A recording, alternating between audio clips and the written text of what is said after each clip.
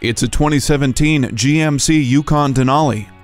Capability has a way of smoothing things out, and this Yukon Denali has the smooth ride and looks to complement its capability.